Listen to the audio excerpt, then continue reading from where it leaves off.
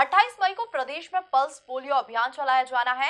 इंदौर जिला प्रशासन ने भी इस अभियान को लेकर तैयारियाँ प्रारंभ कर दी है।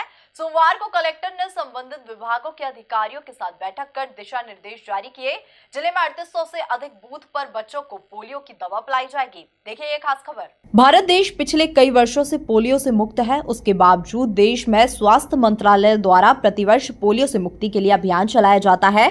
आसपास के देशों में पोलियो के मरीज़ सामने आने के बाद स्वास्थ्य स्वास्थ्य मंत्रालय ने और सतर्कता बरतना प्रारंभ कर दिया है। इस वर्ष सघन पल्स पोलियो अभियान चलाया जाना है। इस अभियान को लेकर इंदौर जिला प्रशासन ने भी तैयारियाँ प्रारंभ कर दी है। बुधवार को इंदौर कलेक्टर इलैया राजा टी ने संबंधित विभाग के अधिकारियों के साथ बैठक कर आवश्यक दिशा निर्देश जारी किए।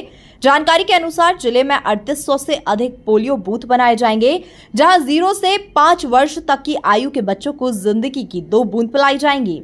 आप सभी को है ना विदित है कि पिछले ना कई सालों में ना भारत है ना पोलियो से मुक्त है। फिर भी दुनिया के ना दूसरे देश हैं, स्पेशली पड़ोसी देश में लगातार है ना केसेस आ रही है। इसको ध्यान में रखते हुए हर साल है ना पल्स पोलियो का अभियान लगातार हम लोग चलाए जा रहे हैं। जनता का पार्टिसिपेशन के माध्यम से ये है ना पोलियो से मुक्त हुआ है भारत। मतलब इस, बट सावधान है ना आगे रखने का ज़रूरत है।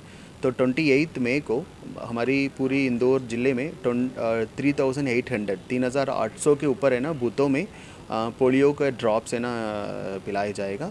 तो आपके माध्यम से सारे सभी लोगों से, सभी गणमान्य नागरिकों से अपील करता हूँ कि आप आवश्यक अपना है ना बच्चे को नियरेस्ट है ना बूथ में जा कर के पोलियो को दवाई है ना पिलाए जाए। सो पोलियो मुक्त है ना भारत का है ना चीज़ें हैं, उसको कंटिन्यूसली हम रखने के लिए मदद होगा। इसमें काफ़ी सारा डिपार्टमेंट्स को मीटिंग लिए हैं। सारे एजुकेशन डिपार्टमेंट्स महिला बाल विकास है ना हेल्थ डिपार्टमेंट सारे लोग है ना फ़ील्ड में रखेंगे तो मैं वही आपसे पुनः अपील करता हूँ कि आवश्यक है ना पोलियो को दवाई को पिलाए।